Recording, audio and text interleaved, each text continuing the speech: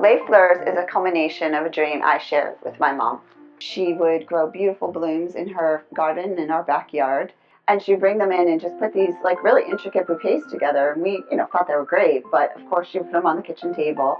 Um, one day my dad encouraged her to you know bring them down to the local grocery store. And um, so four kids in tow in the car with all the beautiful flowers. We went in and presented them to the store owner and he said wonderful these are beautiful. He's like easter's around the corner let's do 200 and you know we were shocked. We were like oh no we're not a florist. Okay we're going to figure this out. Well, now the hard work started. We really weren't sure what to do, and I was so young. I was probably 11 or 12 at the time, and of course, my mom thought, well, okay, I, I'm not going to have enough flowers in my garden, so we're going to have to go to the Boston Flower Market. Of course, we didn't really know what that was. We, we thought, okay, we'll, we'll drive down to Boston. And I walked in and I was like, wow, now this is some flowers. It was just magical. I can't really put words to how beautiful it was, but it just changed my life. And I guess I was my mom's sidekick. I was the one probably enamored with flowers as much as she was.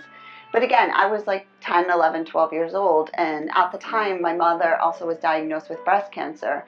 So I think it was just something that really bonded us and that I could see the beauty that she saw. And I kind of was like, you know, the real true meaning of flowers behind all of this. So it just became a higher, more spiritual thing between us. In my early 20s, I had the opportunity to live in Paris. How great, how fun. And I was living there as a professional figure skater. Um, most of my shows were in the evening, so during the day I had a lot of free time. And my mom, of course, would be so curious of all the other shops in Paris, what they were doing, what kind of designs they were styling.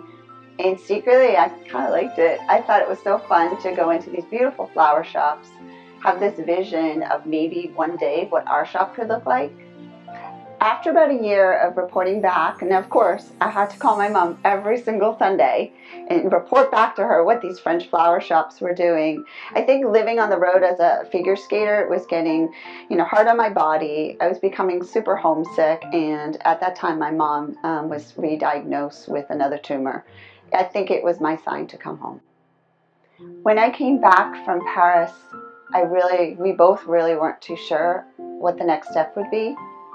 We would go to her cancer um, chemo treatments and talk about, you know, someday opening a store. You know, could it happen? Was she too sick? Was it the timing right? We really weren't sure. You know, we would really hope and we were excited about the dream. And I thought, you know, maybe this would give my mom that extra strength or that extra push to say, let's do it. And, you know, maybe I secretly thought it would cure her. And I really dreamed hard, prayed hard to open that store.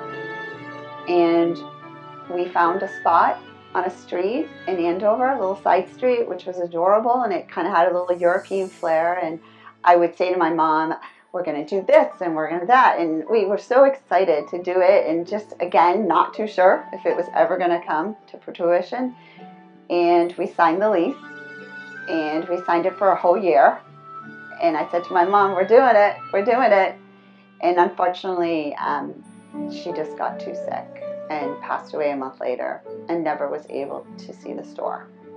It broke my heart, but I do know she gave me that passion to continue on. So after my mom died, it was really hard. I wasn't too sure what the next step would be, but I knew I had to market the business in order to continue and to thrive. I decided to sign up for my first bridal show.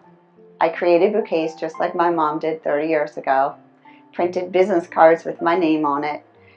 And in the spirit of my mom, I think she was kind of watching over me because that day I booked 38 weddings.